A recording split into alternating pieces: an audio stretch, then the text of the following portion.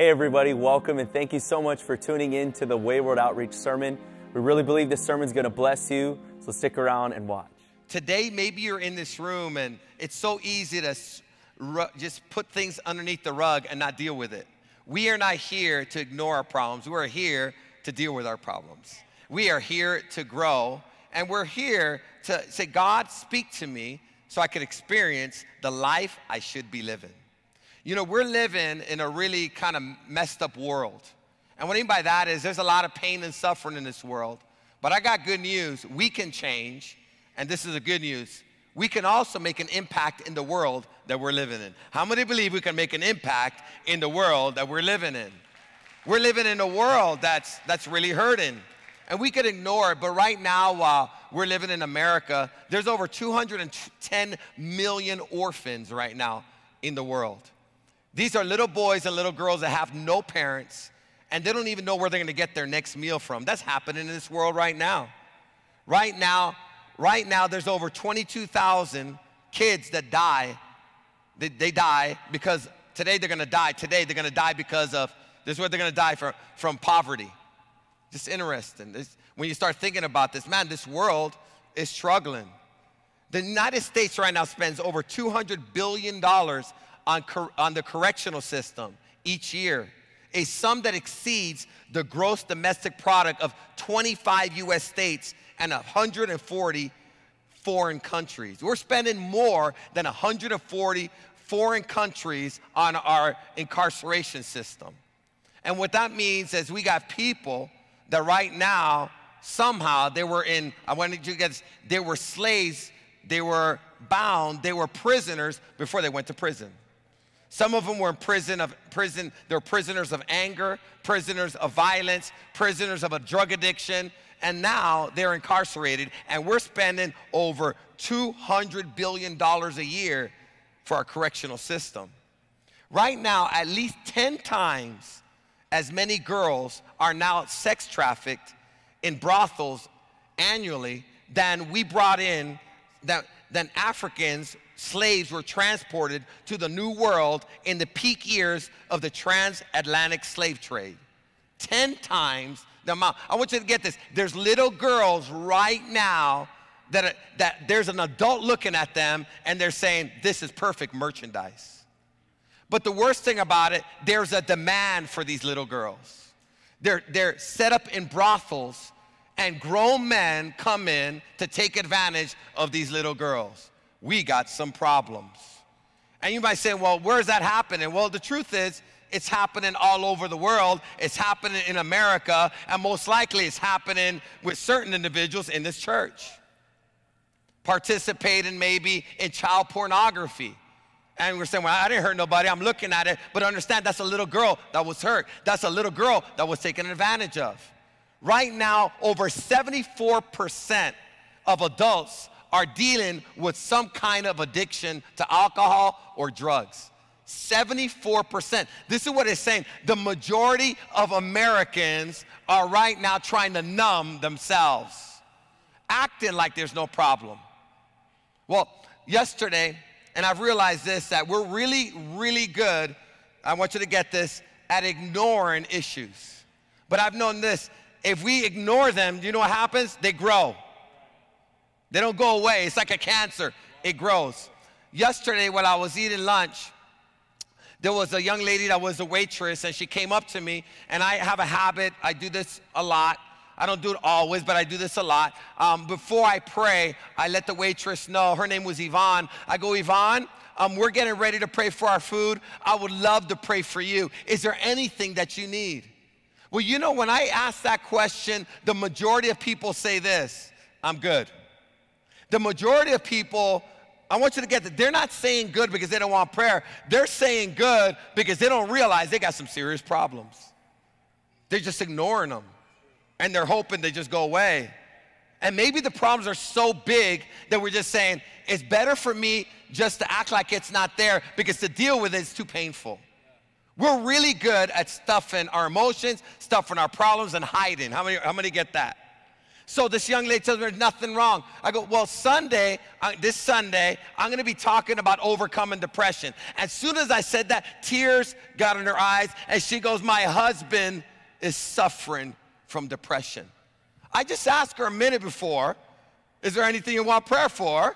And she didn't realize when I said depression, she goes, I know someone that's struggling and she knew her marriage is on the line. She knew her husband's life is on the line. There's a problem in her house. And the good news is, Jesus can solve any problems that we have. The good news is, we can change, our society can change because we can bring change. How many believe that we can bring change? So now, people ask me all the time, say, Pastor Marco, if there's if there's a God, why is there all this suffering you just mentioned? Why is there so much pain? Why is there so much abuse going on? Why is there so much violence? Why, if there's a God? Well, I'm gonna answer that question for you today, and maybe after this, you'll never ask that question again because you'll have the answer. Would you like to know what the answer is to all this pain, all this suffering, all this starvation, all these, all, all these orphans, all this addiction, all this depression? What's happening? This is the answer in Roman, Romans chapter 3, verse 9. Well then, should we conclude that we Jews are better than others? No, not at all. For we have already shown that all people, whether Jews or Gentiles, are under the power of sin. Now, at this time, Paul is the one that wrote the book of Romans. He's struggling with some religious people. These religious people think that they're self righteous, that there's nothing wrong with them. They're religious people. And they thought they were better than the masses. They thought they were better than the pagans. They thought they were better than the non Jews. They thought they were better than the Gentiles. And then Paul opens the scripture up and he says, There's a problem. And this is the problem that every single human is dealing with. And what he was saying is, we're all in the same boat. Say with me. We're all in the same boat. You know what that means? Is all of us have issues, all of us struggle, and all of us need a Savior that can help us through our struggles, out of our struggles, and help us overcome. That's the reality. So when I say these stats, we fit in somewhere. But the truth is, the reason there's so much pain and there's so much suffering is in that scripture. All people, whether Jews or Gentiles, are all under the power of sin. So, what's the problem? The problem is that we're under a power of error, under a force, an influence that brings selfishness, destruction, and pain and suffering and misery everywhere it's ruling. Under the power, this is what it means. Placed beneath. It means subject to its authority, it means, or, or direction, or subject to the influence, or condition, or force, or controlled by. Just think about this. We have a problem because we're controlled by sin. Who, who in this world is controlled by sin or is born controlled by sin? Every single human being. And this is why we say this at times I'll never do that again, and you find yourself doing it. And that's why our New Year's resolutions don't work.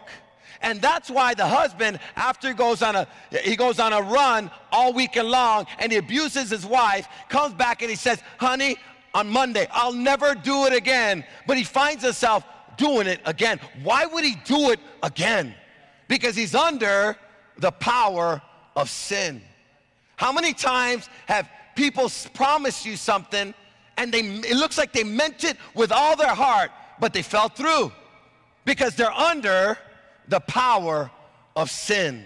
There's some things right now that we can't overcome without i want you to get we can't we can't overcome without the power of jesus setting us free. The biggest problem we have in the universe right now is the power of sin. That's why an addict says i'll stop but he can't. We try to calm down our anger but somehow we can't. We try to be faithful but then we can't What's the reason?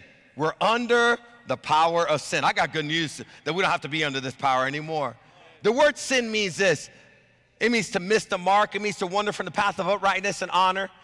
It means to go or go wrong. It means to wander from the law of God, violate God's law. So, this is what the scripture is saying. The biggest problem we have in this world is that people are under the power of sin. And, and I want you to get this. And until we address that, people don't even know they need freedom. Because if we're under, that means if, if, if we're influenced by the power of sin, if we're being controlled by this power, by these desires, by this fleshly uh, pursuit of pleasure, and we're being controlled by it, how do we get set free? Is it willpower? You don't have enough willpower. I've learned this. You could use your willpower all day long. All you do is drop one sin and pick up another. Have you ever done that? You drop the weed and you pick up cocaine. I mean, it just doesn't change. You drop boo boo and you pick up Samuel. It doesn't matter. Same old sin, just a different face. Isn't that right? You can move from a city. I'm going to get away from the sin. You can't get away from the sin because the sin lies in you. There's only one person that can set you free from the power of sin, and his name is Jesus. He's the only one that can cause us to change. We can change but it's not in our willpower, it's in God's power. Change can happen. Your emotions can change. Your desires can change. Your heart can change. Your will can change. Your ability can change with the power of God. So we have a problem. We've wandered away from the path, but this power holds us. So, what are the qualities of someone that's under the power of sin? In Romans chapter 3, verse 10, it begins to explain it it says this as the scriptures say, no one is righteous, not even one. No one is righteous, not even who? You know what it's saying here? We all have strayed away from God. And it doesn't matter how great we try to cover it up, or it really doesn't matter how many works of righteousness we've done. The truth is, none of us in this room are in a condition apart from Jesus that can be acceptable to God or approved by God to get into heaven or considered righteous. That's the problem. Problems is the problem. He says, none of us, who? Not even one. Righteous means, this is what it means. It means used of him who is whose way of thinking, feeling, and acting is holy. It means one who's conformed to the will of God, one who therefore needs no re- rectification in, its, in the heart or life, approved or acceptable by God. I want you to get this. No one apart from Jesus, no one that's separated from Jesus, is righteous on their own. You guys get that? No one can be approved by any works that we do. You guys get that? So let's think about this. Now, why is that so important? Because the first step to getting right is acknowledging that we're not right. The first step to getting right is to acknowledge this, this we ain't right. I got a little ghetto right there. We ain't right. See, if we don't watch it, when we get, I want you to, when we get confronted that we are not right, we ain't right, this is what could happen. Either we accept that, yeah, I ain't right. I, got, I, I know, I, I know I ain't right. Right? Or we could defend defend ourselves and become, I want you to get try to be self righteous. Because when we could get confronted with our condition, either we defend it or we just say, you know what, I need to change. And if, if, if when you're in church, there's times that subjects are brought up and you get offended, I want you to get this. There's something rising up, and you gotta ask yourself, why am I getting offended? What in me is not right that's trying to hide right now and is trying to justify itself? Something's not right.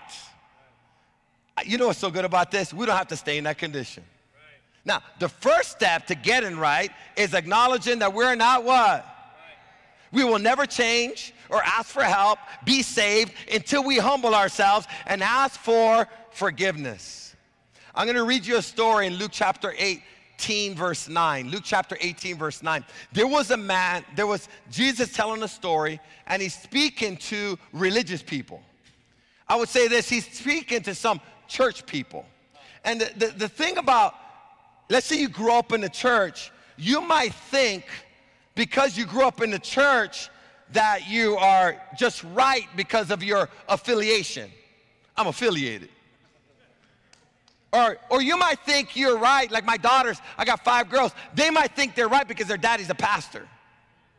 But the truth is, they got to stand before God on their own, and without Jesus, they ain't right. They, are not right. Now, there was a, a Pharisee or a, a religious leader, or you would call him a priest in those days, and he went into the church to pray. But while he went into the church to pray, there was another guy that knew he was a sinner and he went in to pray. Two guys going to pray. Jesus is sharing a story. Look at this story.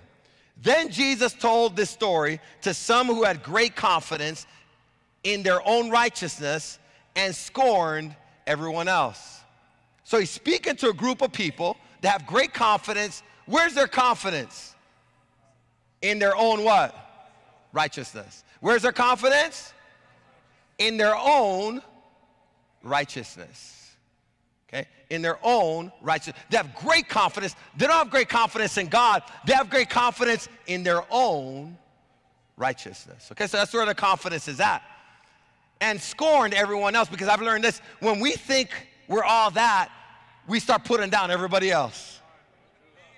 So Jesus is now dealing with these people that have great confidence in their own righteousness. And this is the worst part. Now they're, this is what they're doing. They're scorning everybody else. Like everybody else is just so low compared to us. Now the problem Jesus is having, he cannot reach these people until they realize they're just like everybody else. They're not righteous. And they need a savior. So now Jesus is telling this story to right now maybe get you know what he's trying to do? Wake them up. He's trying to give them some shock treatment. That's what he's trying to do. He's confronting He's confronting them. I want you to get this. There's a time in our lives that we got to confront people and let them know the, the place that they're in so they can get saved, delivered, and set free. That young lady that I met at the hospital, that she was my nurse, I confronted her and I began to show her that she's not righteous and she needs a Savior and religion can't save her. You know what she did? Two minutes later, three minutes later, she said this I want to receive Jesus as my Savior. I want to be saved. How do I do this? I go, honey, let's pray right now. And we pray. I got my checkup, but she got salvation. She got eternal life. And she said, Thank you. I didn't know my condition. That is so good. So now, two men, he's telling a story to these religious guys have confidence in themselves. Two men went into the temple to pray. One was a Pharisee, and the other was a despised tax collector. Back in those days, a tax collector was like the bottom of the barrel. Like if someone told you like this, you're a tax collector, you said, What? You better not call me no tax collector, homie. Your mama's a tax collector. Oh, no, she ain't. So like these were fighting words. Like don't call me a, because they were considered be, they were considered low lives. They were considered betrayed. They were betraying their own race. They were considered thieves. They were considered liars. They were considered greedy. Don't. So these two people go into the church. I want to. A priest goes in, went to the temple to pray. One was a Pharisee, and the other one was a despised tax collector. The Pharisee stood by himself. Look at his prayer and prayed. This is an awesome prayer. I thank you, God, that I'm not like other people cheaters, sinners, and adulterers. Imagine that prayer. His prayer is, I want to thank you. I'm not like the other people. I'm certainly, and I want you to get this, he's an exclamation point. He goes, I certainly not like that tax collector. So imagine they're both praying, and this guy just starts screaming. And I thank you, Lord. I'm not like that tax collector.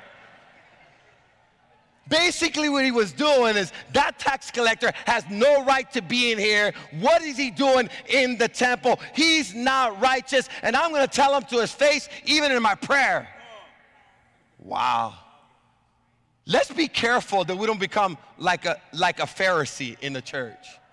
that we forget where we came from and we forget that we should welcome every single person that's hurting and broken and broken and give them the love of God. Who are you to judge when you got old logs coming out of your own eye and you're trying to take a speck out of somebody else's eye?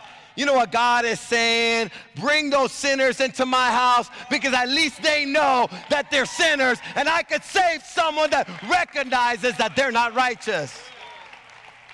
So he prays and he, say, he goes on to say, I fast twice a week. His prayer's not over. And I give you a tenth of my income. I tithe too. What a prayer this is. I do this, I do that, I do that, I do that, and I just thank you. I'm not like that person that does all that wrong. Thank you. I just want to thank you for who I am. I want to thank you that I'm God's gift to the world. I just want to thank you. I'm so good, and He's not so good. Now, th- this is a big, big problem. I'll tell you why it's a big, big, big problem because his salvation is at stake. He's doing religious things and he's still going to hell because he does not recognize that he is not righteous. And the only one that can make him righteous is Jesus by forgiving him and setting him free and giving him the gift of righteousness. He's still under the power of sin. But the tax collector, he prays too. He stood at a distance and dared not even lift his eyes to heaven as he prayed. Instead, and I want you to get this, this is after the insult. Like, some of us, our anger would have took over. Like, who do you think you are? You wish you weren't like me. You wish you were like me. You know how much money I got? Stealing from you, stupid.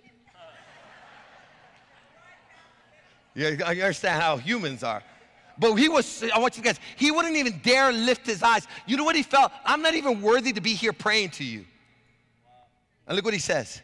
Instead, he beat his chest in sorrow, saying, Oh God, be merciful to me, for I am a sinner. I'm messed up. I've walked away from you. I've practiced sin. I've violated your law. Forgive me. Have mercy. I don't deserve for you to hear me. I'm asking for mercy. God, forgive me. I tell you, this sinner, not the Pharisee, returned home justified before God. For those who exalt themselves will be humbled, and those who humble themselves will be exalted. The problem with the Pharisee, his faith was, his was in his own works. He was comparing himself with a man, and he wasn't comparing himself to God. See, the comparison is not you and your neighbor. Your comparison is you and God. And that's the problem. When you compare yourself with God, you fall short. And you know what that means? There's nothing that me and you can do to make up for our sin we could only be forgiven and realize it was a price to pay for the gap. He paid the debt. Jesus died for our sins. We did the crime. He did the time. We did, we did the crime. He suffered for it. He was punished for it to give us a free gift of righteousness, a free gift of eternal life. Salvation cannot be earned. Salvation can only be received by faith and grace. This is what we're talking about. Let's make sure that our faith is in Jesus Jesus, not our faith in our own works. Now, why is that so important? Because when you first came to Jesus, this is cool, you knew you were jacked up. Right? Because when people presented Jesus to you, when you thought you had everything together, you said, That's good for you, not for me. Have you ever been in that position? Like, yeah, you're, I don't, matter of fact, when we're, like, we think we got it together and we're in denial, this is what we do, like, don't preach to me. Why are you preaching to me for? Did I ask for your opinion? But when your world falls apart, and then you're getting consequences for your bad choices, emotionally, relationally, you're starting to realize your life is getting out of control. Sin, the power of sin has taken over. Sin is so deceptive because it'll let you think you got control of it. I'll never become an addict. I'll never become abused. I'll never get, get caught up in a self destructive lifestyle. I'll never be depressed. I'll never have anxiety. I, that will never happen to me. I got control. But there's a time where the tables are flipped and the master takes over. He was always the master, he was just getting you addicted. He was just making sure you were uh, making sure that you were became a slave to your condition. And then the tables turn and you start realizing, man, I'm in a mess and you tried the drugs, you tried the friends, you tried the girlfriends, you tried the boyfriends, you tried everything you could try, and you found you tried the clubs, you tried the dressing, you tried the money, you tried the new purse, you tried the new nails, you tried the new hairdo, you tried working out, you tried everything. But after you did it all, there was still something missing in your heart, and you said, Man, I can't fix this. And then finally, someone said, Why don't you come to the way? And you go, I need some help. I don't know what the solution is. And then you heard a message like this, you heard a solution, and then you raise your hand. It says, Save me. I'm a sinner. Have mercy on me. As soon as you cried out, I want you to get this, church, He saved you and He forgave you. The scripture says, the tax collector went away justified, forgiven, and saved. And that Pharisee, if he never changes prayer, today he's in hell for eternity. And he thought he was righteous. His faith was in himself, his faith was in his religion, his faith wasn't in a Savior. I deal with this all the time. People that think they're okay just like this Pharisee. And either you're, I want you to get, you're either in one category or the other. You think you're okay, or you realize I'm a sinner. and if you realize you're a sinner, I got good news for you. You can change. You can be saved. You can become a brand new person because you'll never get right until you start realizing I right. As a Christian, be careful that you didn't start out recognizing you're messed up.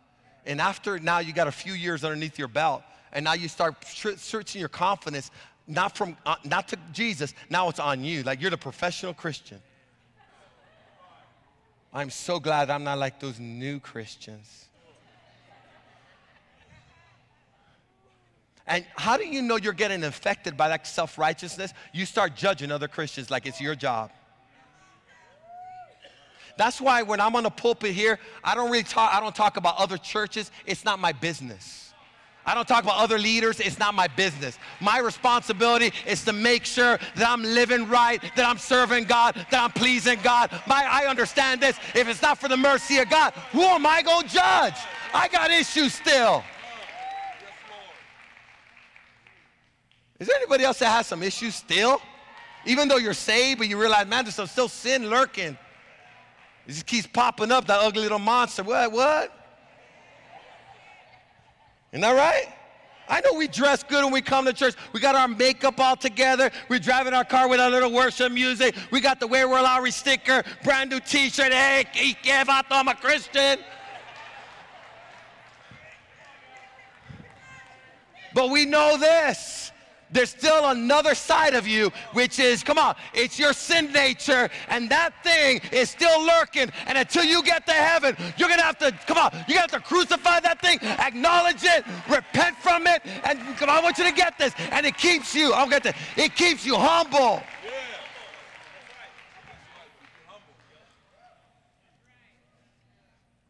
Pastor, are you humble?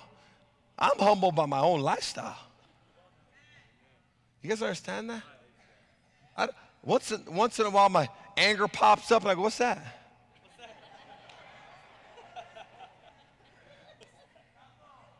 Once in a while, I'll start getting depressing thoughts. Like, What's that?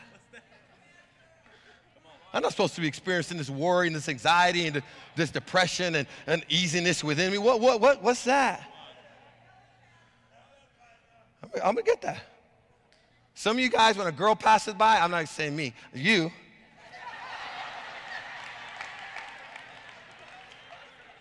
and you start looking, what's that? Okay?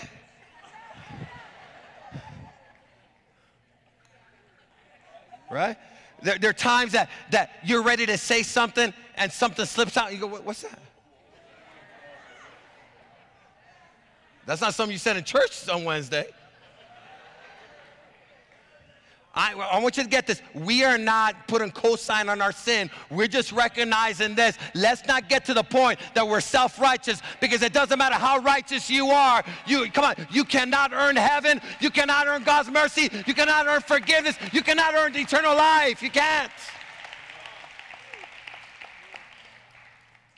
Hmm. All, I want you to get this. All that place their confidence in their own righteousness will not be saved. So if I ask you a question, if today you die and you stand before God and He asks you, Why should I let you into my heaven? What are you going to say? If you say this, I'm a pretty good person, I go to church, I pay my tithes, I serve in a ministry, I walk old ladies across the street. This is what I'm going to tell you you will go to hell. Because by the confession of your own mouth, you, you said, My faith is in me, not in you, Jesus. Now, I'm going to get to heaven, and, and I'm not going to get to heaven because I'm a pastor of the Way World Outreach. Imagine me standing before God, why should I let you in heaven? Well, I'm a pastor of the Way, saving thousands of people. I gave towards the building fund a lot of money. If I say that, I want you to get this. I could be preaching and be a Pharisee and still go to hell. Because I would be dependent on my own righteousness. This must be a lesson that we learn.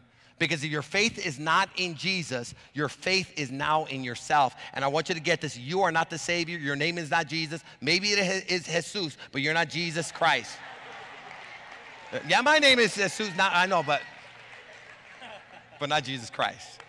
You're not the Messiah or the Savior. Uh, you got that right. Titus 3:5. It says this. He saved us. Who saved us? Jesus. Because of his mercy. We didn't earn it. Not because of any good things we did. He saved us through the washing that made us new people. He saved us by making us new through the Holy Spirit. It was a miracle. He forgave us and gave us a new life through the power of His Spirit. This is not an act of man, it's an act of God. I didn't save me, Jesus saved me through the power of His Spirit.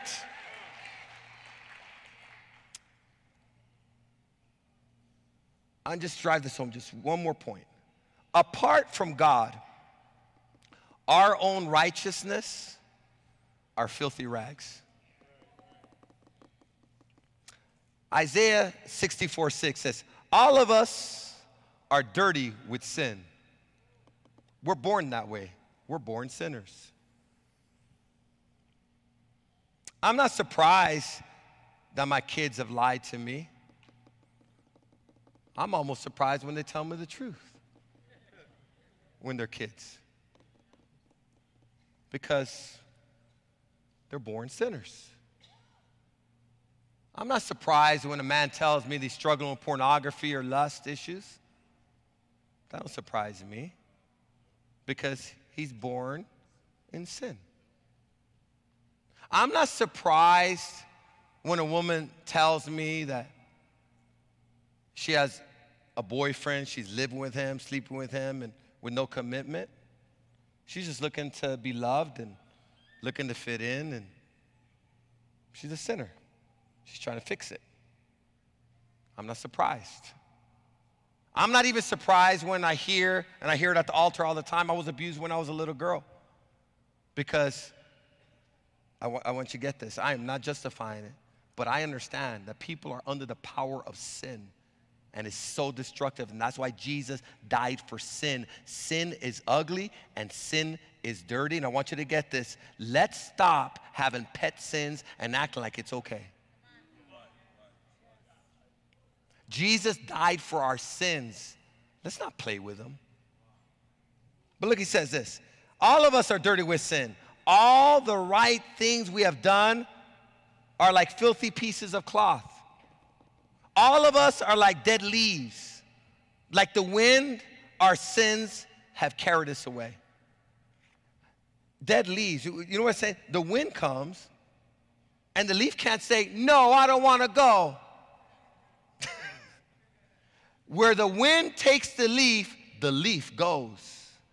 And what it's saying here, without Jesus in our lives, we're a dead leaf. Where the power of sin takes us, we go.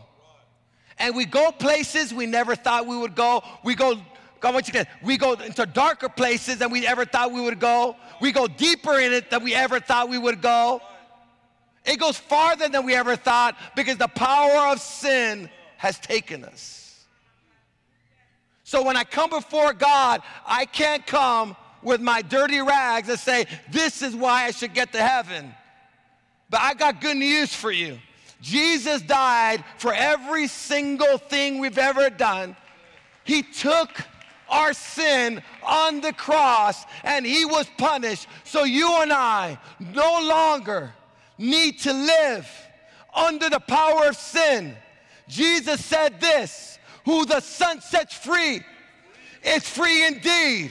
You're no longer a dead leaf. When you give your life to Jesus, you become an alive son and daughter of God with God's Spirit in you that gives you the power to live a life that you couldn't live. And then God gives you His own righteousness. You know what that means? When I stand before God, my life is hidden in Christ. When I stand before God and they check my DNA, they're not gonna see my blood. They're gonna see the blood of Jesus, sinless blood, perfect blood. His righteousness represent me. My life is hidden in His blood. I love that. They checked my blood. It's all Jesus. Let him in. And I could hear the devil say, Yeah, yeah, yeah, but you know, the other day, he was mad at his wife. He's acting like a fool. And then Jesus is going to say, It's under the blood. It's my blood that makes him righteous. It, he's not saved by his works. He is saved by my blood. It's my blood that makes him righteous. It's my blood that cleanses him. It's my blood that qualifies him for eternal life.